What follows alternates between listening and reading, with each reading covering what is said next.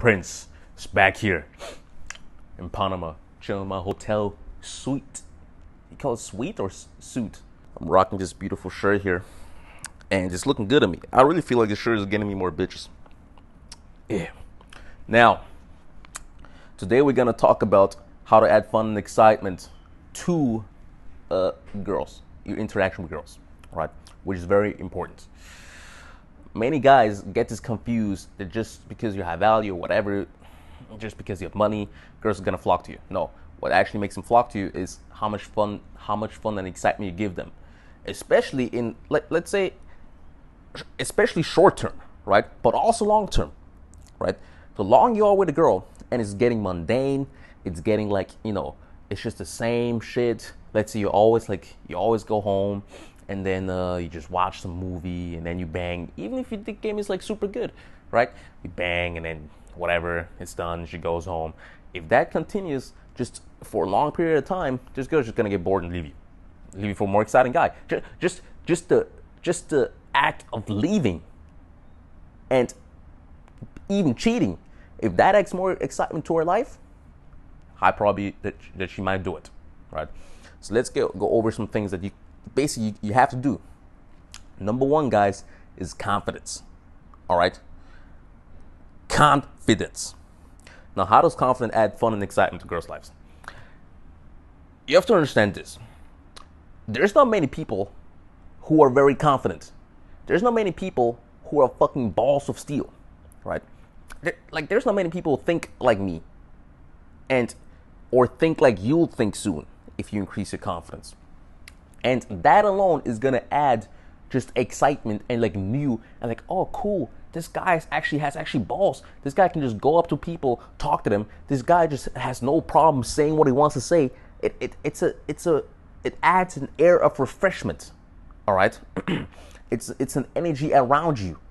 Now compare it to like this, you know, guys like oh this, uh, this uh, that, that guy's he's not exciting. He's just average. He's like everybody else. You know, that's why you need to increase your confidence, guys. You just need to. Now, I've talked about guys, ways you can increase your confidence, right? You can start uh, boxing, uh, kickboxing, uh, because that's gonna basically add to your danger. If you're a dangerous guy, you know it. You can fuck people up. You're gonna walk differently. All right. You need to up your social game, which is super important. Make sure if if you feel scared to do something socially, right? That is what you know you have to work on when, when I was young, I was a shy kid. I was super. When I say shy, shy is like an understatement. It, it's. I wish I could like just demonstrate how shy I was, because uh, I, you probably won't even believe it, but it, does, it doesn't matter. But I would, for example, see a girl from my class walking down the street. She will be. She's like in my class in high school. Now I would walk, and she will be on this street, and the bus is like over here and we have to get through to the bus like on this street but then i would just switch streets so she doesn't see me she doesn't recognize me she doesn't look at me because that would just feel too awkward. That is how shy i was. Now the way i overcame this is i forced myself. When i say forced i mean forced myself into social situations that made me uncomfortable. And over time i became i mean basically right now i'm, I'm a fucking beast right? I can get out of people what i want. I can talk to people. I'm very charismatic and I work for it. I'm, I'm proud of it. I'm, I'm, fucking. It's the truth. All right. And uh, you only get this by being forcing yourself into uncomfortable situations. Right. Even approaching girls. If you're scared of it, like you just have. To, I mean, you just fucking have to do it. Stop, stop being a fucking pussy. Right. The, the thing is, some of you guys, you, you don't even like entertain the idea of like trying. Just just the act of trying is gonna at some point make you succeed. If you try one girl's approaching girls one year approaching girls, at some point you get you're gonna talk to some girls, all right? So social game, right? and uh, of course, there's many other things that can add to your confidence. How much money you make, right? It's, it's, it's all connected. The more capabilities you have as a man, the more confident you get. And also, the girls are gonna respect you more, right? Adding to your looks, very important. If you just look good, you're stylish, and you, you just notice people looking at you, it's gonna add to your confidence right? And now the way you present yourself to girls, you know, you're like more upright, right? When you hug them, you like pulling in more close.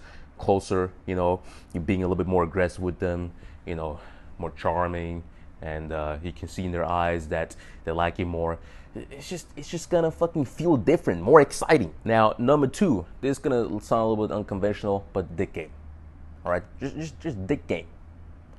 If you can add dick game to the way you bang girls, you're gonna automatically be more exciting. When I say dick game, I mean also leading up to it, right?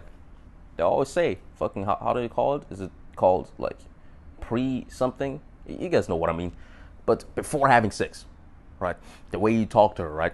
The way you grab her, fucking grabbing her legs here in public, right? Um, when you're hugging her, right? And let's say this, assuming you're already dating, right? So you hug her, grab her by the ass when you hug her, stuff like that. You know, you whisper to her ear, th- things like that. And then when you get home, uh, you fucking throw her in the bed, fucking dog the shit out of her, right? Until, until, until she's like, that's what I mean with good dick game, okay? That's gonna add infinitely more excitement to uh, whichever girl you're dating, and and she's gonna get so locked to you with that with this excitement because excitement is like a drug for girls, right? If, it's like with power for men. If you if you fucking inject power into a man's veins, it's gonna, gonna fucking go insane. She's fucking powerful as shit. If you add excitement, fucking IV excitement to a girl's veins, she, she will always have to come back to you, right? You're gonna imprint her. I have this friend. She he has like this crazy thing, this crazy act that he does to add excitement to a girl's life. So he's rich, he has Lambos and everything. So he'll have his girl in the Lambo or Ferrari, whatever he has, right? He has multiple cars, and uh, he'll drive, and then all of a sudden he'll be like, Shh, "Turn off your phone, be quiet." Because like, what? What's happening? He'll like park, get out. It'll be like a shady kind of situation, like uh, in, in in the darkest streets, more at night. He'll get out. There's gonna be like two guys, and those are actually his friends. It's gonna be like two guys. They're all looking fucking pissed. All right. he goes up to them. Right. Looks like he wants to punch them like does a fucking you know weird weird, weird handshake, kind of like you know like this, aggressive. Gets an envelope, looks at them again, walks off, goes into the car, drives off, says gives gives the envelope to the girl, says Countess. The girl's like super scared. Is everything alright? Is everything alright? What's happening? Everything's alright now, babe. Count the money. She counts it. It's like 13 grand in it. She said 13 grand. He says, okay, he does it a couple of times. When the police comes, he's like, uh, uh, sh- "Shut down your phone. Be quiet." Right? Acts all scared. Best is he says like if the police actually stops him, right? Because I mean nothing's happening, right? It's just fucking traffic stop. But that is literally an act that he does.